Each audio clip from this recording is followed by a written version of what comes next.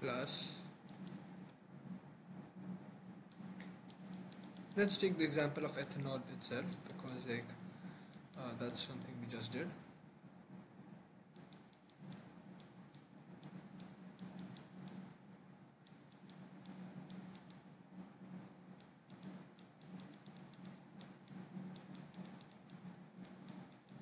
Now we know that this is the standard enthalpy change of formation of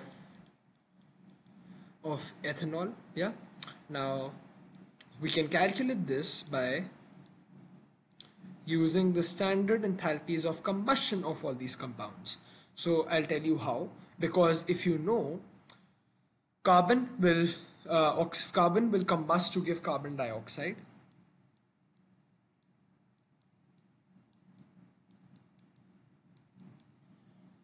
Because they're two so two hydrogen combusts to give water.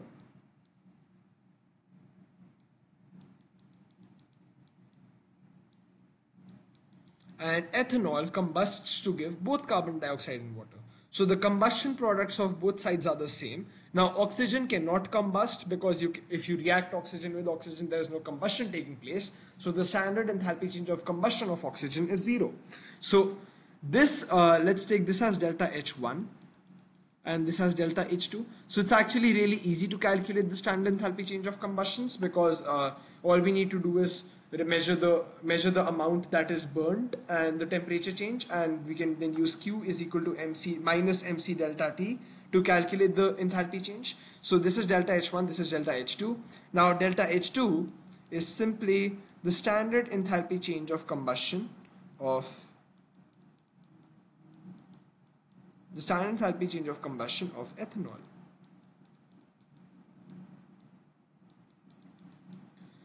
And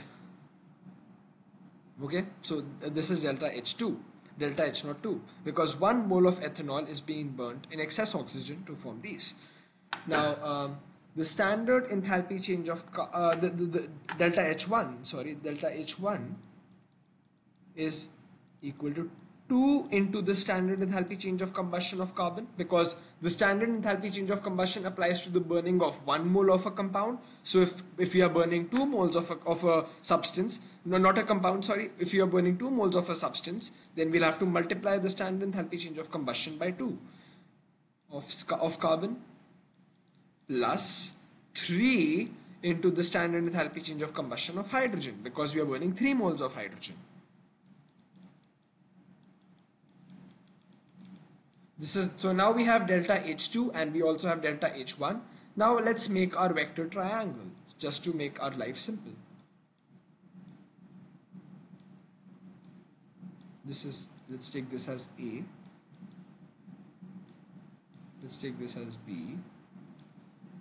Let's take this as C.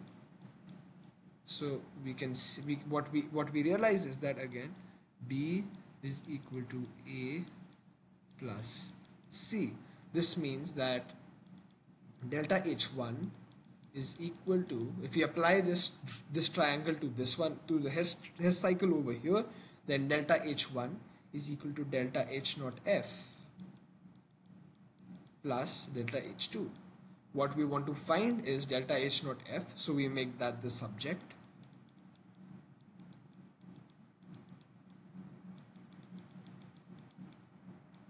this is what we get.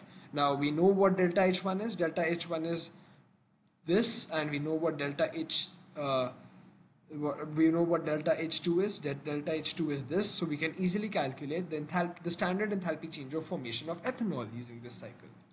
Now let's do one more example. So let's say we have uh, an anhydrous salt Na2S2 O3 and it is being hydrated by 5 water molecules to give hydrated Na2S2O3 which is Na2S2O3 dot 5 H2O liquid. So we know that this, uh, sorry, not liquid again, this will be solid. I'm really sorry. It's a hydrated solid.